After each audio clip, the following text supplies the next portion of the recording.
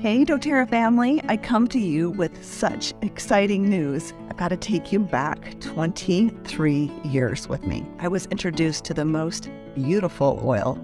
This was when I was brand new to the essential oil world, and I fell in love with this oil and later found out that it was completely synthetic.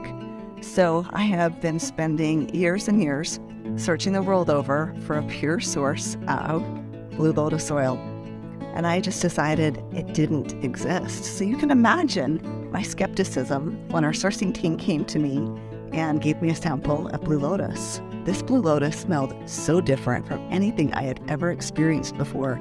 It was soft, yet so complex, so rich, so exquisite, absolutely delicious. But I didn't want to get my hopes up too much.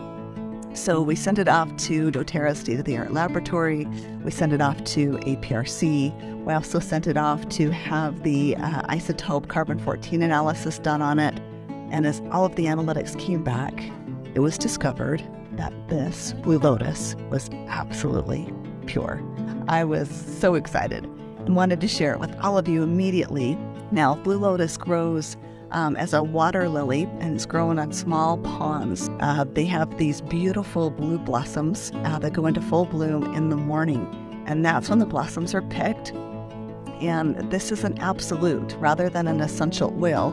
You'll know that there is a rich, rich history with blue lotus oil, particularly through Egypt. It would help you to dream in living color. So it's a great nighttime oil. I love to put it over my heart.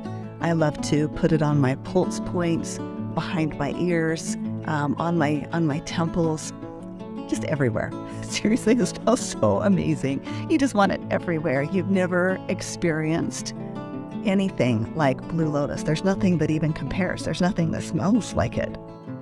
And please enjoy and treasure Blue Lotus.